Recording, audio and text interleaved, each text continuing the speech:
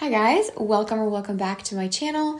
Today I'm going to be doing a sort of like roundup of my favorite beauty products from the whole year of 2021. But instead of doing the whole thing where you pick like one favorite from each category, I'm doing like sort of a random mix of things, but just like the most standout products to me that I discovered this year that are like my favorite. So, like I said, it's sort of a random mix of products, but I wanted to talk about like my all time favorites instead of feeling the need to mention something in every category, I guess. Like I've always said in my past videos like this, these are not necessarily products that came out this year. They're just things that I discovered myself this year and like really kind of fell in love with this year. So I hope that you guys will enjoy this video. Before I get into it, I would love if you would consider subscribing down below and give the video a thumbs up if you enjoy it and let's get into it. So let's start off and talk about some jewelry. You guys know I love Ana Luisa jewelry. I've talked about them several different times on my channel. I just mentioned them in my holiday gift guide video. And that video wasn't sponsored, but they actually are sponsoring today's video. So I'm really excited because I love so many of their pieces. It's like the definition of my style in jewelry. And they're actually doing a buy one, get one 60% off sale right now, which is really big. And I believe that today is the last day that you can order from the site and get it in time for Christmas with standard shipping. So if you've been eyeing some pieces or you want to try something out, I would definitely recommend picking it up today. They have pieces starting at $39 and going up, but like I said, buy one get one 60% off right now really cuts down on the price and I just think it's a really great deal. Um, I'll have the link down below in the description box. They are a carbon neutral and sustainable jewelry brand and they ship worldwide. So I'm going to show you guys some of the pieces that I'm wearing today. I've talked about different pieces from them. You guys know the Rebecca necklace is one that I wear all the time. It's like my favorite go to necklace, but I recently just got this Miche necklace. I think that's what it's called. It matches these earrings, which the earrings are called the Dobby earrings, I think. So they have different names, but they match. It's like the same style, this gold with this like green gem in the middle. I'm not sure what it is, but I believe it's on the website and I'll try to put in close-ups of the jewelry so you guys can see it better. All their jewelry comes in these really cute little pouches that have like these magnetic clasps, so it's really easy to close. It's really nice. Um, in here, in this little pouch, I have this really cool piece that it's something that you wear in one ear as like a statement piece, and then you wear like your everyday jewelry on the other side. It's called the Sia Link, I think. And it's just like this little like safety pin paper clip type piece that goes in the first piercing and then for the second piercing just has like this very small little diamond. So i think this looks absolutely stunning in your ears. So i love this one. And then with this necklace that i have on i also layered this just basic gold chain necklace. And it came in a set of two. So i have the other one in here. I haven't taken it out of the package yet because it's very similar to this one. The design is just a little bit different, a little bit more simple, but I think this set of the gold chains is called the Heritage set, so definitely a great little layering option to have. I wanted to get some more layering pieces because most of my jewelry is a little bit more like statement or like things like this with a gem, but I wanted something that I can layer with my other pieces. So those are some of the more recent ones to my collection. You guys know though, I've talked about these Dobby little green earrings several times before. I'm obsessed with them. I talked about them in a favorites video. I think that they're so pretty and I love that I now have the necklace to pair them with. So, anyways, definitely check out Ana Luisa. It's linked in the description box. Thank you so much to them for working with me on this video. It's always a pleasure. So, moving on to my other beauty products, I think I'm gonna start with hair because I know that a lot of you guys are probably here for that and then we'll go into some body care and skincare and then maybe makeup at the end. I'm not going to talk about perfumes because I think I'm going to do a video on my fragrance channel talking about like my favorite perfume discoveries of 2021. So I don't feel like it's necessary to repeat myself, but I want to talk about the shampoo and conditioner that I'm actually surprised since this was a little bit of a more recent discovery that I'm so like obsessed with these. I just feel like they really rose to the top of my collection very quickly. These are the Umberto Giannini Curl Jelly shampoo and conditioner. The shampoo is very unique. It's definitely like a very thick product and you really have to break it down and sort of like mix water with it to get it to like become more emollient in your hands but it really really cleans the hair and that's what I love so much about this and then I feel like following it up with the conditioner it just adds the perfect amount of moisture and like leaves your hair feeling plump and juicy, but not like over moisturized. It's definitely not too thick of a conditioner, but it's like the perfect amount of moisture. And I really, really love that set. And then a couple of other ones. These are not a set, but I have this Not Your Mother's Curl Talk Curl Care shampoo. This is another shampoo that's really really cleansing. I just love how how much it lathers up and like cleans your scalp, but it doesn't strip your hair. That's one thing for me is I like a shampoo that really cleans my scalp, but I don't want it to strip my hair. So the other conditioner that I had to talk about is this Playa Supernatural. The writing is rubbed off on this because I've used it so much I'm almost out, but I also love the shampoo in this line, but it's a lot more of a lightweight everyday shampoo and I didn't want to talk about a million products in this video, so this is the standout product for me. I just love the puddingy sort of like texture of this conditioner. It's just like very enjoyable to use and really like does the job for giving my hair that moisture that it needs. For styler type products, my two standout leave ins this year have been the Hairitage Strength Training Leave In Conditioner Pudding and the Kinky Curly Knot Today leave in slash detangler. I love both of these. They're both a little bit of a thicker leave in. I have other leave ins that I really love that are more lightweight, like the Kristin Ess one, or even the Verb one is more lightweight than these. But those were products that I discovered before and I'm trying to just talk about products that I discovered this year. So a lot of my favorite products aren't in here just because I've talked about them in other videos or I didn't discover them in 2021. So these are the standouts for me for what I discovered in 2021. Like I said, they're both a little bit thicker, very moisturizing, but don't weigh your hair down. And I've used them a lot, a lot. And then both of the stylers that I have here are like jelly or gel type stylers because like I said, this is what I discovered this year that really stood out to me. You guys know the Ouidad Out of Thin Hair Volumizing Jelly was like one of my favorite products this year. I didn't use it as much in the recent months because it is very light hold and I would use this in conjunction with like more stronghold products. But lately, I've been styling with fewer products, so I tend to go with something a little bit more stronghold, like just over top of my leave in, if that makes sense. But this is still a really good product that I love to like cocktail or just like pair with other stylers. It was definitely one of my favorites. Very interesting unique sort of like jelly product that is moisturizing and volumizing, but not like super strong hold, but still has some hold. It's kind of hard to explain, but the other one is the Curlsmith Hydrostyle Flexi Jelly. This is becoming one of my favorite gels. Um, this and the Not Your Mother's Curl Talk gel are currently my two favorite gels. They both have such good hold. This one I feel like gives you a little bit more moisture almost while still having really good hold, which helps a lot with clumping. And so I've really, really been enjoying this one, but it is a little bit more pricey. So if you want something cheaper, check out the uh, Curl Talk one. Also, this Ouidad uh, Curl Shaper Reactivating Mist. I haven't talked about this a ton, but this is actually one of my go to refreshing mists if I'm gonna refresh my hair like second day and I just wanna spray something in my hair and scrunch. This is like one of the ones that I use the most because it's lightweight and moisturizing. It's not like a salt spray or anything like that. It's just a nice moisturizing, like defining spray that I can just spray throughout my hair when I want to refresh. So I wanted to mention that. And then for dry shampoo, this Playa Pure Dry Shampoo is probably my favorite discovery for dry shampoo this year, but unfortunately the like sprayer on this is broken.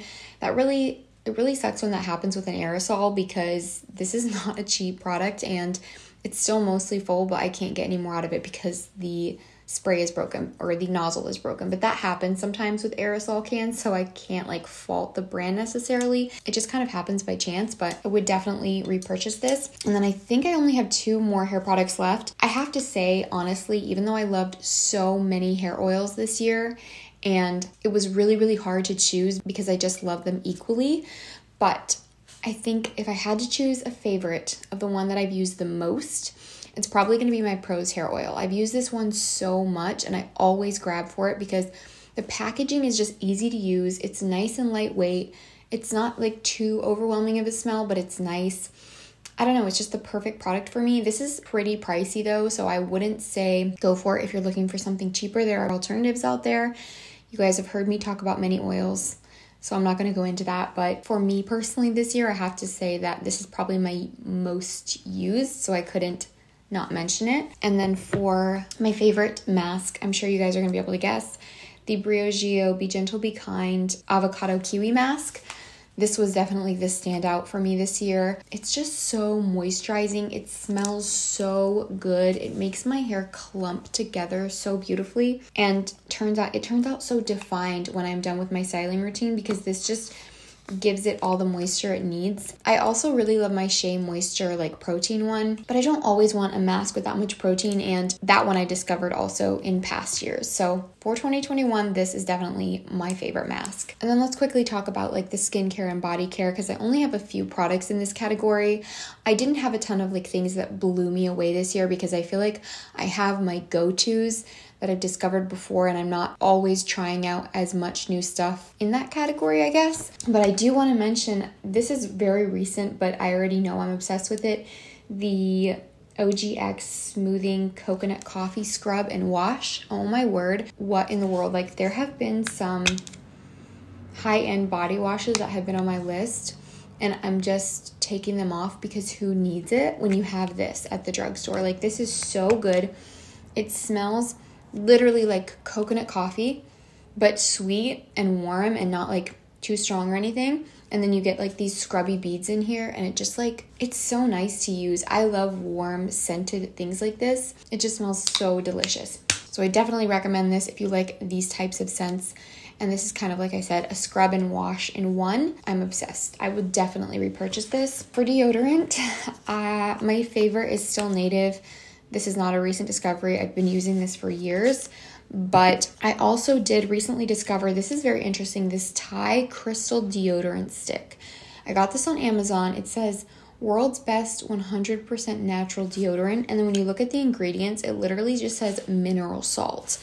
And this is like a salt stick. Like it's not a product that like comes off on your skin really. It's just like like a rock, like a salt rock. I don't know. It's so weird, but I'm telling you guys, this works. It's so crazy. But I only use this like right after I showered. If I get up in the morning and I just put on deodorant, I don't use this. But you put it on right after you shower, you rinse it like under the faucet, and then you put like a ton on. Like you rub it on your skin for like a good 30 seconds to a minute and it works. And it's so amazing because it's not like something that you go through quickly. It's really affordable. So I use this now in conjunction with my native one. I just use this one after I shower and then the native one like in between. Um, two skincare products. So I can't believe I'm not talking about more skincare, but I feel like I had too many different things that I liked and there wasn't like one specific moisturizer or one specific cleanser that stood out to me because I liked different ones. But for a mask, my standout is the Navi brand. Clay, this is my friend's brand, and she wasn't doing it for a while, so you couldn't purchase the products because they were sold out. But she recently opened up shop again, and you can purchase these online. I believe they're in stock right now. This is just the red kaolin clay one and you mix this with water and it like dries on your skin and pulls everything out and i'm sure you guys know how a clay mask works but this is definitely my favorite. Love that. And then I have a serum here. This is the Farmacy Filling Good Hyaluronic Acid Plumping Serum. This is so, it smells like Manuka honey. It's so like smoothing on the skin and moisturizing and plumping. Like it really does plump the skin. And I actually like to mix this with my moisturizer. So this is a product that I will sometimes put on before moisturizer, but a lot of the time I just mix in a pump with my moisturizer and it does such a beautiful job of just adding that extra hydration. So for me, this is like the standout serum for sure that I discovered this year. Even though, like I said, I have like different moisturizer moisturizers I use, but like this is the standout serum. So I think that's it besides makeup. So I have mostly lip products here and then I have a few other like random things. Let's get into the other products first. So I have this tinted moisturizer, the L'Oreal Skin Paradise water infused tinted moisturizer and this is like my most used face product when it comes to makeup this year. I did a sponsored video with them in like way earlier this year in like February or something and I've been using this ever since. Like I, I'm almost out of this and I need to get another bottle. And I don't usually go through face products that fast because I have like different foundations and stuff that I use. So I usually switch back and forth. But I always reach for this one because it's so lightweight and light coverage, but you can build it up and it looks so natural on the skin. And I just love how it looks when I apply it with like my hands or a sponge. I don't love this with a brush, but with my hands or a sponge, I love how this looks. And like I said, I had to mention it because it's my most used like foundation type product from this year. And then for a powder, the Kosas Cloud Set. This one is in the shade Breezy, but I feel like it's a very like lightweight powder, so the shade isn't overly important. I've definitely made a dent in this. It looks kind of light in the pan, but on my skin it fits really well. This is the powder that a lot of people have been raving about this year, and I kind of got sucked into it. It's so natural on the skin. It doesn't look like you're wearing powder, but it sets things in place so that you're not all creasy and that's the thing for me is a lot of times when I try out a lightweight powder that isn't supposed to look powdery or too heavy, it doesn't set my creases down. Like I have very creasy under eyes and that makeup will just sink into the fine lines. But I feel like this is lightweight, doesn't look powdery, but also sets my under eyes so that the makeup doesn't just immediately sink into my fine lines, which I really appreciate. So it kind of does it all for me. I would definitely repurchase this one, and it is my most used face powder from this year.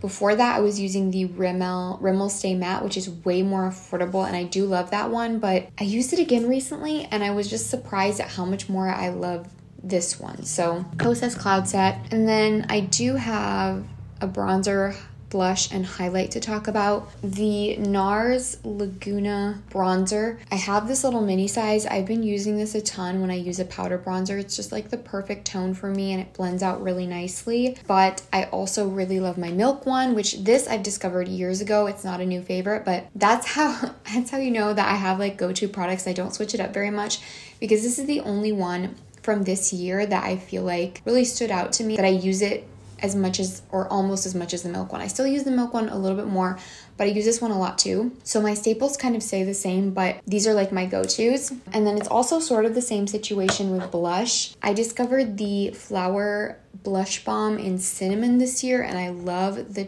tone of this. It blends out so beautifully on your skin and looks so just like dewy and fresh and I'm obsessed with this formula. I do wish though that it lasted a little bit longer, like my ColourPop blush sticks does. This is in the shade Aloha. It's like a peachy color. I've talked about this many times. It's not a new one. It was like my old staple. I discovered it like a couple years ago. So these are like my favorite blushes.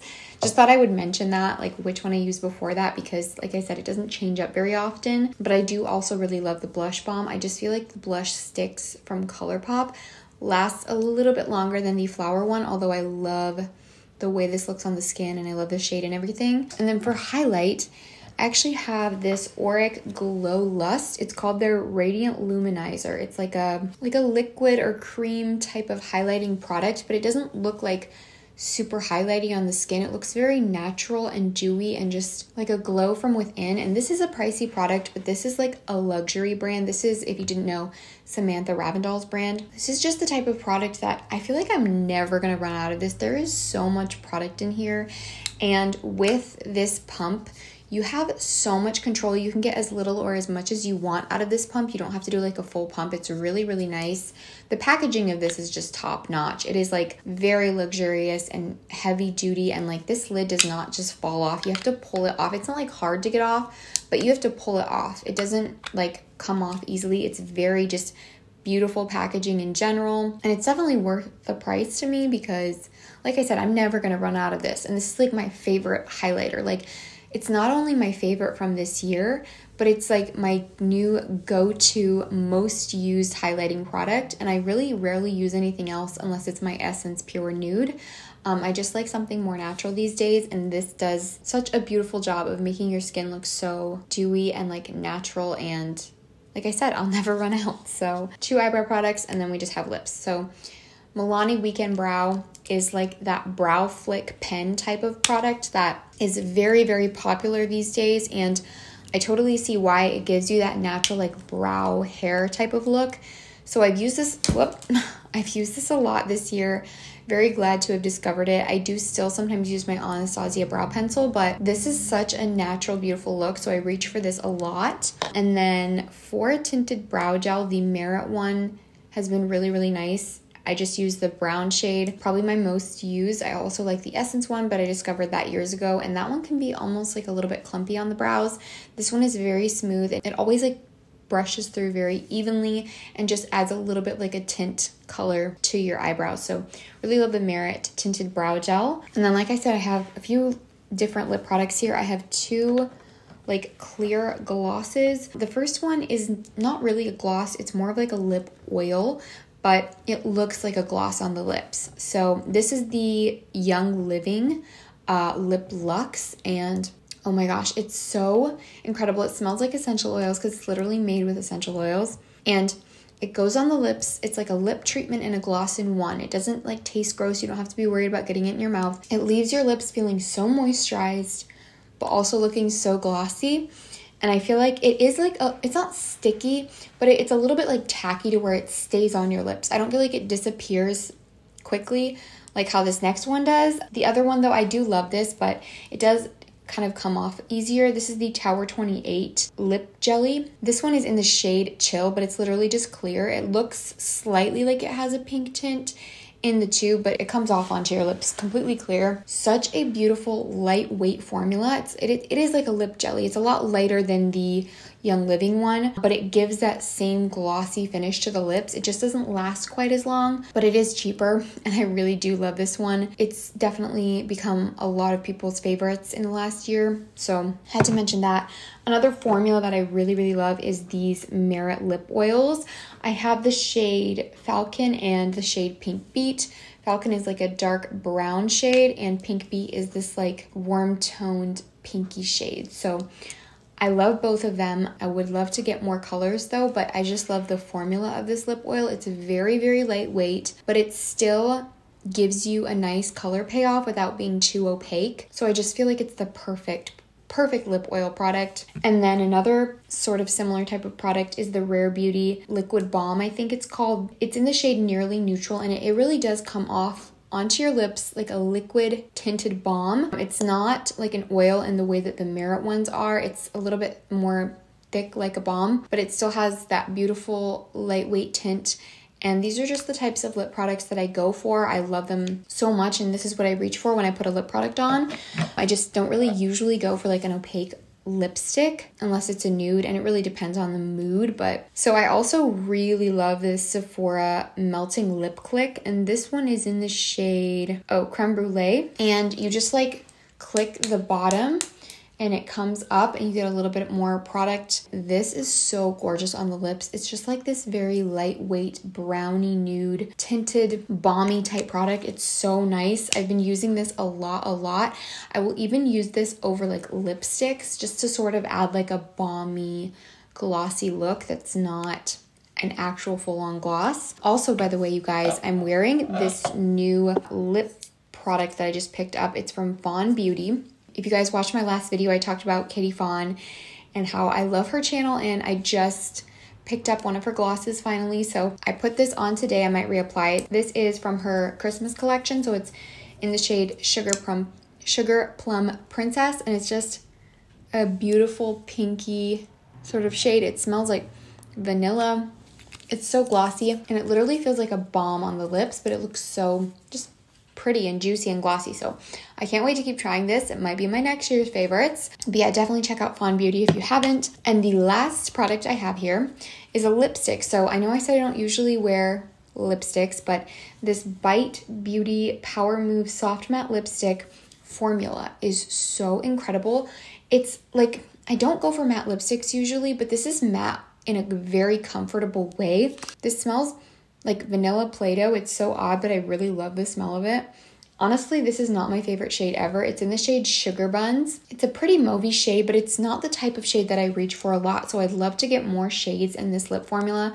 I just don't love to spend the money on something that I don't wear this type of formula a ton, but I love it so much. And if you want a good lipstick formula, this is where it's at. It's so good. I definitely want to pick up more shades, like I said. I just haven't yet, but that's like the standout lip formula for me that I discovered this year as far as like lipsticks go. So, anyways, you guys, that is going to be it for all the products that I had to talk about in like my 2021 beauty favorites. Definitely check out Ana Luisa, like I said, you guys. I honestly think jewelry is like one of the best gifts to get somebody in your life because who doesn't like jewelry? It's like a luxurious kind of gift to get somebody, and they have fair prices, and I'm just obsessed. So I'll have them linked down below, like I said. Thank you so much, you guys, for watching this video. I really hope that you enjoyed it. Uh, don't forget to subscribe down below if you have not already, and I will see you all in my next one. Bye.